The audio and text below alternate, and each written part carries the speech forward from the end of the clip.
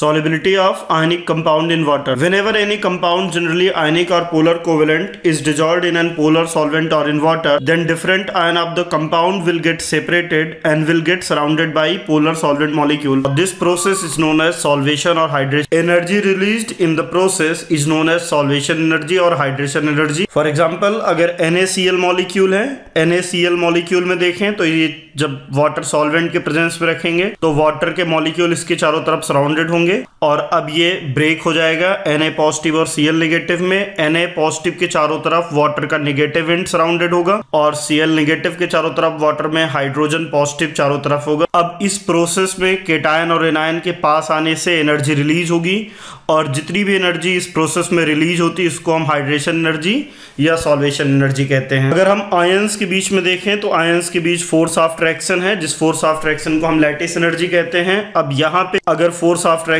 देखा जाए या एयर में है तो force of fraction Q N Q two by R square की value one upon four pi line zero Q N Q two by R square where Q is charge between charge on cation and R is internuclear distance between ion लेकिन अगर इन्हीं ions को water में रखा जाए तो water का dielectric constant eighty है तो अब force of traction 80 times water में कम होगा। तो अगर हम कंपेयर करें तो वाटर में एयर के कंपैरिजन में फोर्स ऑफ़ ट्रैक्शन 80 टाइम्स कम। सॉलिबिलिटी को हम लैटिस एनर्जी और हाइड्रेशन एनर्जी के कॉन्सेप्ट से भी समझ सकते हैं। अगर कोई भी आयनिक कंपाउंड है, अगर इसको लैटिस एनर्जी के बराबर एनर्जी दी जाए तो ये गैसियस आयंस में कन्वर्ट हो जाए। गैसियस आयंस को अगर वाटर में रिजोल्व किया जाए तो इस प्रोसेस में जितनी भी एनर्जी रिलीज़ होती है, इसको हम हाइड्रेशन एनर्जी कहेंगे। दिस पूरी प्रोसेस में लैटिस एनर्जी एब्जॉर्ब होने वाली एनर्जी है हाइड्रेशन एनर्जी रिलीज़ होने वाली एनर्जी है। एंथैल्पी आप सॉल्यूशन देखें तो हाइड्रेशन एनर्जी और लैटिस एनर्जी का जो सम हो, वो हाइड्रेशन एनर्जी होगा। किसी भी प्रोसेस को स्पॉन्टेनियस होने के लिए Gibbs free energy change negative होना चाहिए। तो यहाँ पे एंथैल्पी ऑफ़ सॉल्वेशन और एंट्रोपी फैक्टर टी डेल्टा इन दोनों का जो सम है, वो ओवरऑल अगर निगेटिव आएगा तो सॉल्वेशन का प्रोसेस स्पॉन्टेनियस होगा। अब हाइड्रेशन एनर्जी ज़्यादा है लैटिस एनर्जी कम है then compound is completely soluble because gives free energy change become negative delta G is equal to हमें पता है delta H minus T delta अब अगर डेल्टा एच अगर हम देखें तो एंथैल्पी चेंज की अगर हम बात करें तो ये हाइड्रेशन एनर्जी और लैटिस एनर्जी का सर अब अगर हाइड्रेशन एनर्जी की वैल्यू ज़्यादा है, अगर रिलीज़ एनर्जी ज़्यादा है एब्जॉर्व होने वाली एनर्जी कम है तो ये एंथैल्पी ऑफ़ सॉल्यूशन नेगेटिव आए और अगर ये टर्म नेगेटिव है एंट्रोपी चेंज ऑलवेज अगर देखा जाए तो पॉजिटिव है तो ओवरऑल वैल्यू डेल्टा जी की हमेशा नेगेटिव आएगी और अगर डेल्टा जी की वैल्यू नेगेटिव है तो ये सॉल्यूशन हर कंडीशन में सॉल्यूबल होगा। ऐसा यानी कंपाउंड हर कंडीशन केस टू देखते हैं।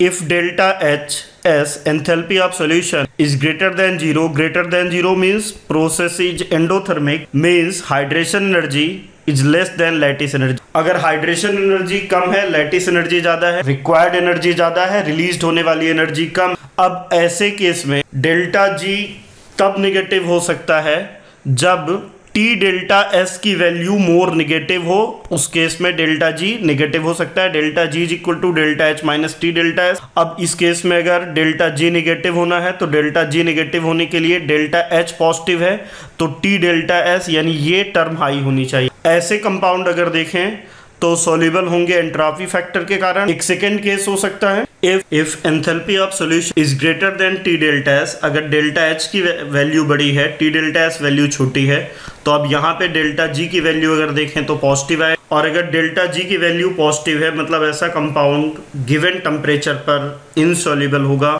नेक्स्ट देखते हैं हाइड्रेशन एनर्जी अगर हम बात करें तो हाइड्रेशन के Q1 one by R C plus Q two by R A होगा, जबकि लैटिस एनर्जी देखें, यहाँ पे आयन सेपरेट हो चुके हैं। जबकि अगर लैटिस एनर्जी देखें, जहाँ पे आयन कंबाइंड है तो Q1 one Q two by R C upon so enthalpy of solution is enthalpy of hydration plus lattice energy K one by R C plus K two by R A upon K three R C upon R A अब इसमें different case हो सकते हैं। Case one लेते हैं।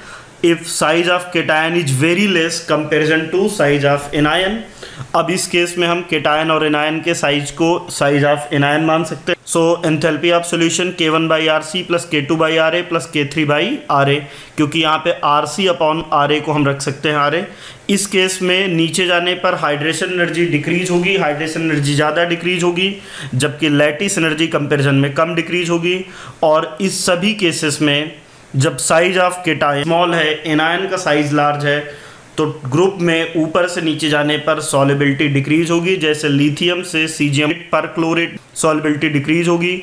Lithium chlorate से caesium chlorate में solubility decrease होगी। नाइट्रेट से लिथियम नाइट्रेट में लिथियम ब्रोमाइड में लिथियम आयोडाइड में solubility top to bottom decrease होती है। ध्यान रखिएगा, अगर पॉलीएटॉमिक एनायन है तो solubility down the group increase down the group decrease होगी।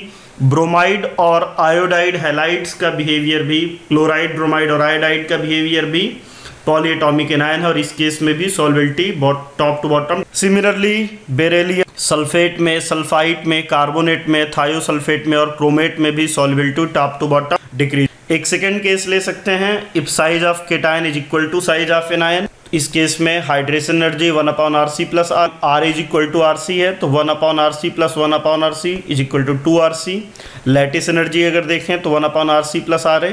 हम यहाँ पे R is equal to R C रख सकते हैं वन अपॉन आर सी या one upon two R C अब अगर यहाँ पे देखा जाए तो ग्रुप में ऊपर से नीचे जाने पर हाइड्रेशन एनर्जी और लैटिस एनर्जी दोनों डिक्रीज होंगी, पर हाइड्रेशन एनर्जी कम डिक्रीज होगी, उसके कंपैरिजन में लैटिस एनर्जी ज़्यादा डिक्रीज होगी और लैटिस एनर्जी डिक्रीज होने पर टॉप टू बॉटम जाने पर सॉलिबिलिटी इंक्रीज होगी, जैसे लिथियम फ्लोराइड से सीजियम फ्लोराइड तक सॉलिबिलिटी इंक्रीज होगी।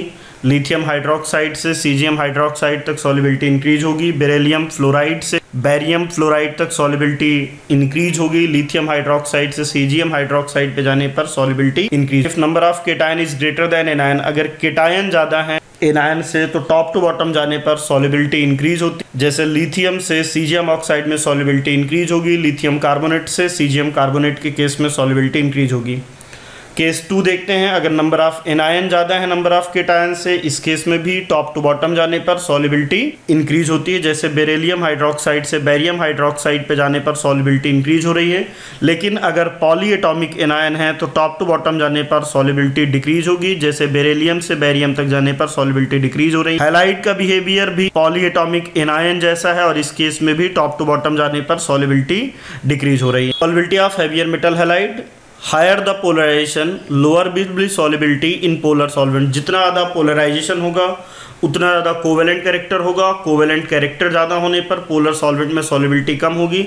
जैसे सिल्वर से फ्लोराइड से सिल्वर आयोडाइड में जाने पर कोवेलेंट कैरेक्टर इंक्रीज हो रहा है और इसलिए वाटर में सॉलिबिलिटी डिक्रीज हो जाएगी। तो सिल्वर में मरकरी में और लेड में टॉप टू बॉटम जाने पर सॉलिबिलिटी डिक्रीज होती है। कुछ एक्सेप्शनल बिहेवियर देखते हैं। अल्कलाइन अर्थ मेटल हैं। इनके फ्लोराइड्स की सॉलिबिलिटी देखें। Top to bottom solubility increase हो रही है।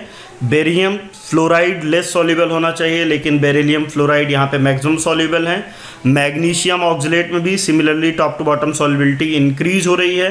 बेरेलियम ऑक्जिलेट सबसे कम होना चाहिए था, लेकिन ये मोस्ट सॉल्युबल है। एल्कली मेटल्स के हेलाइड्स को देखें तो यहाँ पे लिथियम क्लोराइड की सॉलिबिलिटी सोडियम क्लोराइड से ज़्यादा है सीजियम क्लोराइड की सॉलिबिलिटी रुबीडियम क्लोराइड से ज़्यादा है। लिथियम क्लोराइड, फिर सीजियम क्लोराइड, फिर रुबीडियम क्लोराइड, फिर एन और फिर के